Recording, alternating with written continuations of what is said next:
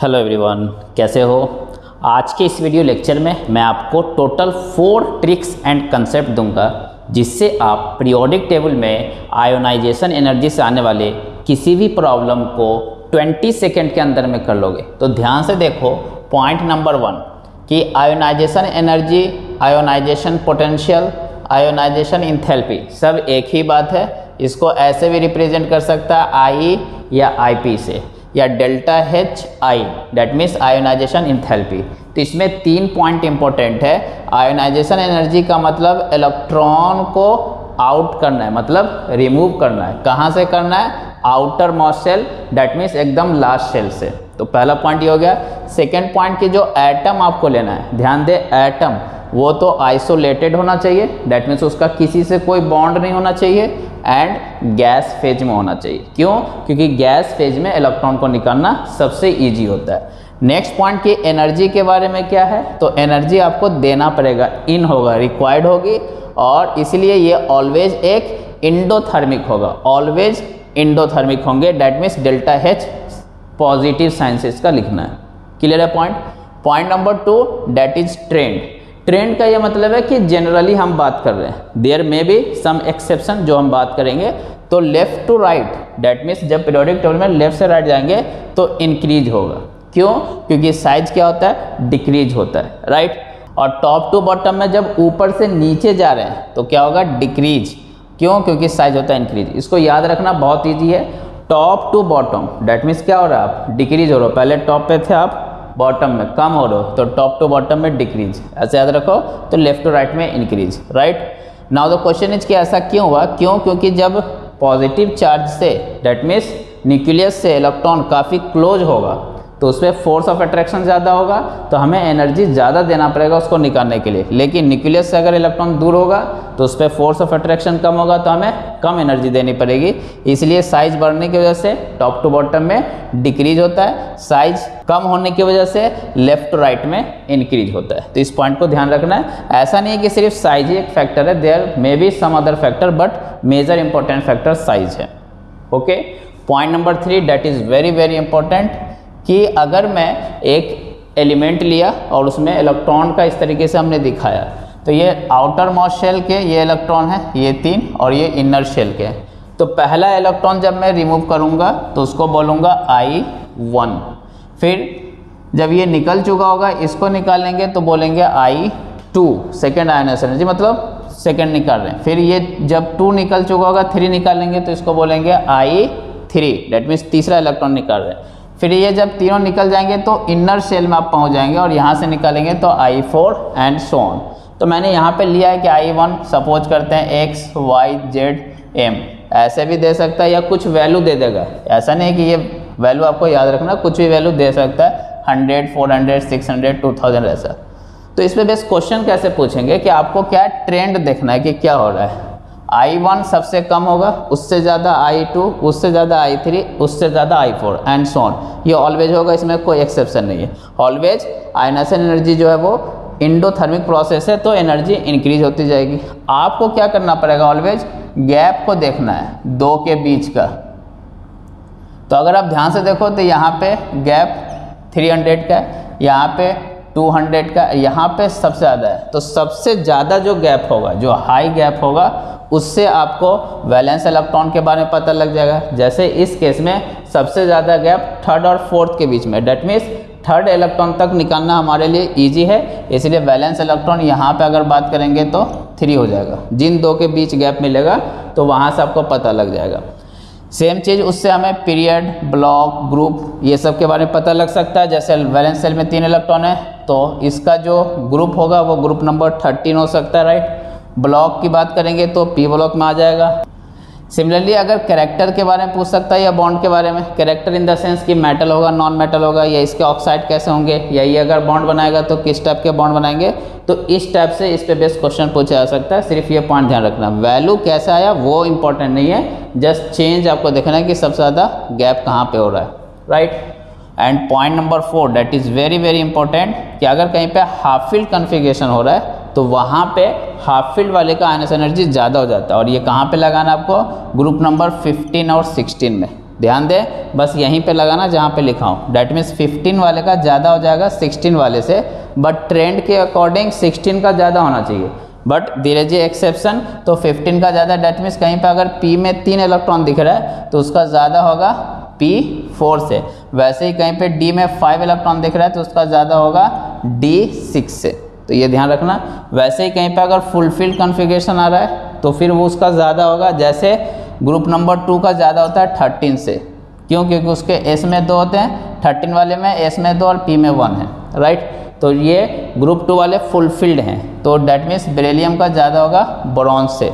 तो ये दोनों पॉइंट आपको एकदम ध्यान में रखना है। यही रीज़न है कि ये दोनों मैंने लिस्ट आउट किया है, इसको एकदम ध्यान में रखना है। लिथियम से ज़्यादा कौन होना चाहिए था? Beryllium that is okay beryllium से ज़्यादा बोरॉन होना चाहिए, लेकिन यहाँ पे देखो उल्टा हो गया है। तो बस यहाँ पे ध्यान रखना है क्यों? क्योंकि इसमें फुलफिल्ड है, इसमें फुलफिल्ड नहीं है। तो इसलिए बेरेलियम को आगे करना है। तो यहाँ पे एक्सेप्शन हुआ। वैसे कार्बन अपनी जगह पे ठीक है ऑक्सीजन नाइट्रोजन में फिर से प्रॉब्लम है क्यों? क्योंकि नाइट्रोजन फिर से आपका हाफ़ फ़ील्ड वाला हो गया तो हाफ़ फ़ील्ड का ज़्यादा कर देना है नेक्स्ट नियरेस्ट से। अपने पीछे वाले से तो ज़्यादा होगा ही नेक्स्ट नियरेस्ट से भी ज़्यादा करना है। फ्लोरिन और ऑलवेज नोबल गैस सबसे ज़्यादा होगा, क्योंकि उसमें पूरा फुलफिल है राइट तो नोबल गैस को ऑलवेज हाइस्ट में रखना है। वैसे ही अगर मैं थर्ड पीरियड में जाऊँ तो सोडियम एलमिनियम पहले आ गया मैग्नीशियम बाद में। यहाँ पे प्रॉब्लम हुई, वही किसकी वजह से? फुलफिल कन्फिगेशन होने की वजह से। और सल्फ़र और फास्फोरस में फिर से प्रॉब्लम हुई क्यों? क्योंकि हाफ़ फ़ील्ड हुआ तो। बाकी आर्गन तो सबसे ज़्यादा होगा ही क्यों? क्योंकि नोबल गैस है। तो ये चार पॉइंट अच्छे से समझ लेना बेटा। इससे बाहर कुछ नहीं है। नाउ ज्ञान की बात, और डेट इज़ वेरी इंपॉर्टेंट यहाँ पे जो भी बात करेंगे हम, वो एक्सेप्शन ही होगा। जैसे पॉइंट नंबर वन कि ग्रुप 13 और 14 में एक्सेप्शन है। और एक्सेप्शन कैसा है? डाउन द ग्रुप जाने पे वी नो कि आयोनाइजेशन एनर्जी डिक्रीज होती है। तो कार्बन का सबसे ज़्यादा होगा राइट उससे कम सिलिकन, उससे कम जर्मेनियम। उसके बाद लेड और टिन में एक्सेप्शन है। होना चाहिए किसका ज़्यादा? टिन का। लेड का कम होना चाहिए, क्योंकि डाउन द ग्रुप है। बट लेड का ज़्यादा होता है टिन से। तो ये ध्यान रखना, और जहाँ पे एक्सेप्शन बता रहे वहीं पे। तो ग्रुप नंबर थर्टीन में जो लास्ट वाला है, वो सेकेंड लास्ट से ज़्यादा हो जाता है, जबकि उल्टा होना चाहिए। वैसा ही फोर्टीन ग्रुप में जो लास्ट वाला है, वो सेकेंड लास्ट से ज़्यादा हो जाता है। डेट इज़ एक्सेप्शन तो ये ध्यान रखना है। Point number two again group number thirteen में कुछ ज़्यादा ही एक्सेप्शन है। वी नो कि डाउन ग्रुप जाने पे डिक्रीज होता है एनर्जी तो बोरॉन का सबसे ज़्यादा फिर एल्युमिनियम, फिर गैलियम, इंडियम, थैलियम, ये ऑर्डर होना चाहिए, लेकिन वो ऑर्डर नहीं होता है। ऑर्डर ये है। और इस ऑर्डर को कैसे याद रखेंगे? वेरी सिंपल आपको एक डब्लू बनाना है और थोड़ा स्टाइल से। कैसे? तो ध्यान से देखो, आपने यहाँ तक क्या। ये आप ये ये वाले डंडे को थोड़ा नीचे खींच देना है। नीचे होने की वजह से ये ज़्यादा ऊपर नहीं जा पाएगा। तो यहाँ से आपको क्लियरली दिख जाएगा। सबसे ऊपर कौन आ रहा है? बोरॉन फिर उसके बाद कौन आ रहा है? ध्यान से देखो। थैलियम, फिर कौन आ रहा है आपका? गैलियम, फिर कौन आ रहा है? एल्युमिनियम, फिर लास्ट में इंडियम तो इस ऑर्डर को कैसे याद रखेंगे? तो सिंपल एक डब्लू हमें बनाना है और थोड़ा सा स्टाइल से। और सीरियल ऑर्डर में उस पर एलिमेंट के नाम लिख दें और आपको आइडिया मिल जाएगा कौन सबसे ऊपर है, कौन सबसे नीचे। तो ये ध्यान रखना है। पॉइंट नंबर थ्री जो ऑलरेडी बात भी कर रखे हैं, कहीं पे भी हाफ़ फ़ील्ड कन्फिगेशन हो रहा है तो वो नेक्स्ट नियरेस्ट से उसका आइनस एनर्जी ज़्यादा होगा और फुलफिल हो रहा है तो भी नेक्स्ट नियरेस्ट से ज़्यादा होगा। फॉर एग्ज़ाम्पल नाइट्रोजन का ज़्यादा हो गया ऑक्सीजन से क्यों? क्योंकि हाफ़ फ़ील्ड कन्फिगेशन है। नाइट्रोजन के पी सब सेल में थ्री इलेक्ट्रॉन है, जबकि ऑक्सीजन में फोर है। वैसे ही फुलफिल्ड वाला, जैसे मैग्नीशियम का ज़्यादा हो गया एलमोनियम से। But according to trend aluminium का ज़्यादा होना चाहिए, लेकिन यहाँ पे ये है तो इस पॉइंट को ध्यान रखना है। कभी कभी क्वेश्चन को ऐसे पूछ सकता है कि इन दोनों में कौन होगा? तो जब इस टाइप से दे दे, या आई टू की बात करें तो उसको ध्यान से समझना। ओ प्लस का मतलब आपने ऑक्सीजन से एक इलेक्ट्रॉन निकाल दिया है। तो ये क्या होगा एक तरीके से? नाइट्रोजन एफ़ प्लस का मतलब फ्लोरिन से एक निकाल दिया तो एक्चुअली में क्या हो गया? ऑक्सीजन और वी नो कि ये हाफ़ फ़ील्ड हो गया था इसलिए इसका ज़्यादा होगा। तो इस टाइप से भी क्वेश्चन पूछे जा सकते हैं। प्लस दे करके, या ऑक्सीजन एंड फ्लोरिन की आई ई टू कंपेयर करो। ऐसा दे दिया तो आई ई टू का मतलब एक इलेक्ट्रॉन निकालने के बाद तो आप निकाल लिया करो। एक इलेक्ट्रॉन निकालने के बाद ये नाइट्रोजन में कन्वर्ट हो जाएगा राइट और कन्वर्ट हो जाएगा इन द सेंस कि उसके जैसा इलेक्ट्रॉनिक कन्फिग्रेशन हो जाएगा। और फ्लोरीन ऑक्सीजन जैसा हो जाएगा। अब आपको ईजी है क्योंकि ये हाफ़ फ़ील्ड है तो इसका ज़्यादा होगा। तो इसलिए क्वेश्चन को केयरफुली रीड करना है। आई वन पूछ रहा है आई टू आई थ्री जहाँ भी हाफ़ फ़ील्ड या फुल फ़ील्ड लगे तो लगाना आपको। तो अब हम अप्लीकेशन की बात करते हैं। नाउ क्वेश्चन नंबर वन में इस टाइप से आपको एलिमेंट गिवन थे और फ़र्स्ट आयोनाइजेशन एनर्जी का ऑर्डर बताना है। तो सबसे पहले अगर आप ध्यान से देखो तो ये सारे एलिमेंट लेफ़्ट टू राइट वाले हैं। तो उसके उसके ऑर्डर में लिख दो, फिर आप कंपेयर करना। तो विनो लिथियम सबसे पहले आएगा तो लिथियम होगा। लिथियम से ज़्यादा बेरेलियम डेट इज़ ओके और बेरेलियम से ज़्यादा बोरॉन होना चाहिए बट फुलफिल कन्फिगेशन होने की वजह से तो बेरेलियम को आगे करना पड़ेगा और बोरॉन को पीछे यूनो तो यहाँ पे एक्सेप्शन था, बस इसका ध्यान रखना है।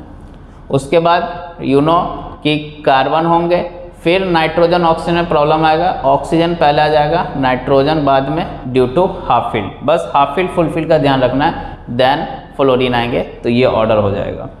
क्वेश्चन नंबर टू में आई वन सोडियम का ज़्यादा होगा मैग्नीशियम से तो ये गलत स्टेटमेंट हो जाएगा। बट मैग्नीशियम का ज़्यादा होगा सोडियम से तो ये हो जाएगा करेक्ट क्यों? क्योंकि एक तो लेफ़्ट टू राइट है, और वैसे भी यहाँ पे बाय द वे मैग्नीशियम का साइज़ छोटा है सोडियम से तो साइज़ छोटा होगा तो ज़्यादा होगा। इवन दो मैग्नीशियम का एल्युमिनियम से भी बड़ा होता, ये पॉइंट ध्यान रखना था।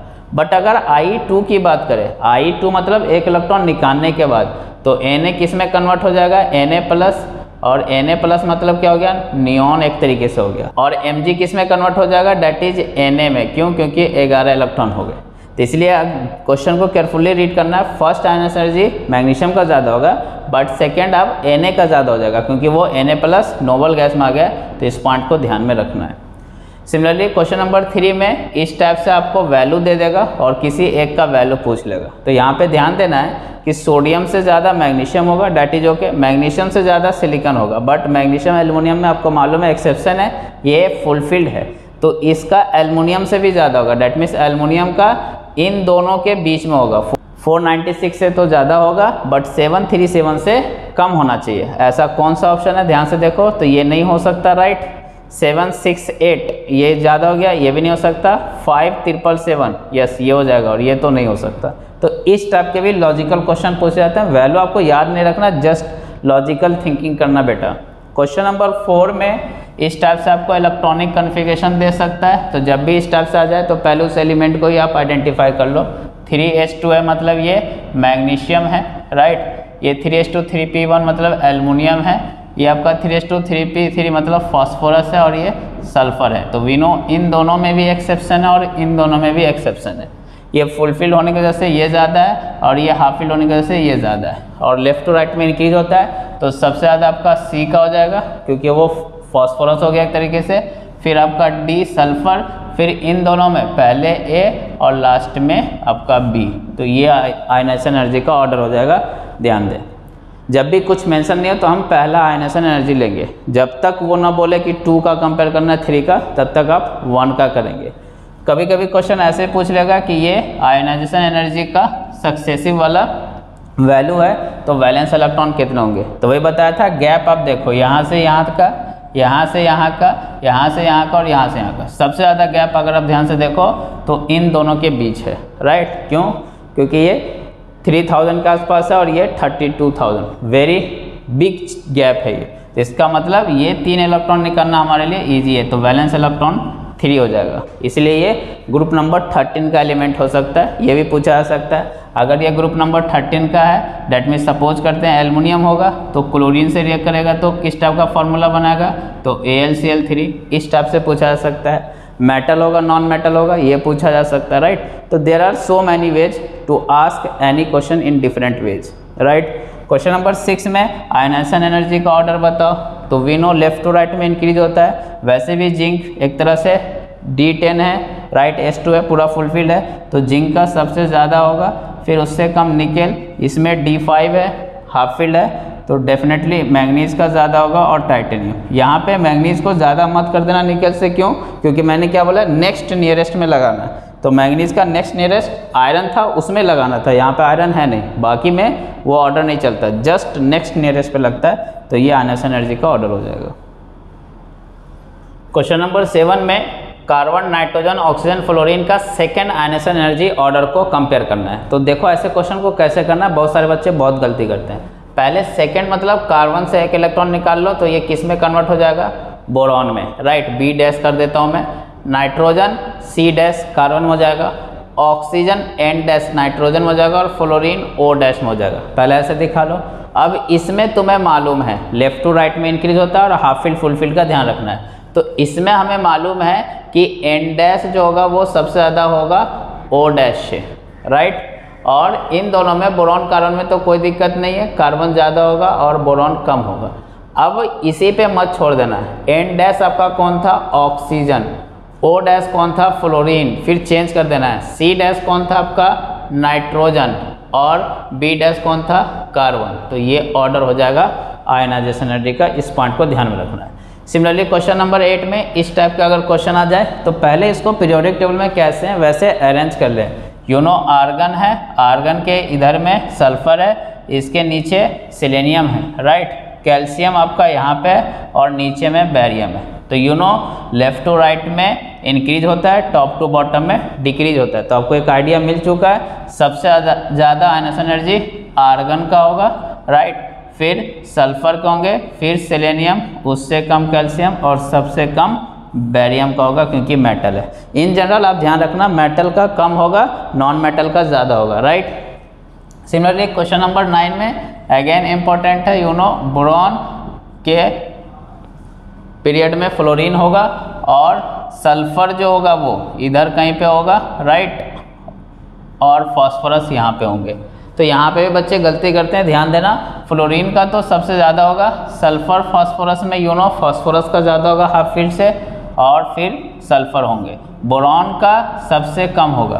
कुछ बच्चे सोच लेते हैं वो सेकेंड पीरियड का है और ये थर्ड पीरियड का तो डॉन द ग्रुप में डिग्रीज होता है। बेटा, वो पॉइंट है बट यू नो कि ये सारे नॉन मेटल इसमें नॉन मेटेलिक करेक्टर ज़्यादा है और इसमें मेटेलिक करेक्टर है। मेटल ऑलवेज इलेक्ट्रॉन देने की कोशिश करते हैं, इसलिए यहाँ पे ध्यान रखना बोरॉन का कम होगा। क्वेश्चन नंबर टेन में इनके आने से एनर्जी ऑर्डर तो ये वही वाले हैं। 14 ग्रुप वाले एक्सेप्शन वाले। तो ध्यान रखना है कार्बन सबसे ज़्यादा होगा सिलिकन सुनो प्रभु में, प्रभु पहले, फिर सुनो बाद में। तो ये ऑर्डर हो जाएगा। तो ये 10 क्वेश्चन हमने लिया है जस्ट सारे टाइप के मैंने कवर कर लिए और भी पी वाई क्यू क्वेश्चन है, सब इससे मिलते जुलते होंगे, वो आप कर सकते हो, और आप देखेंगे आपका क्वेश्चन ईजिली बनेगा। Thank you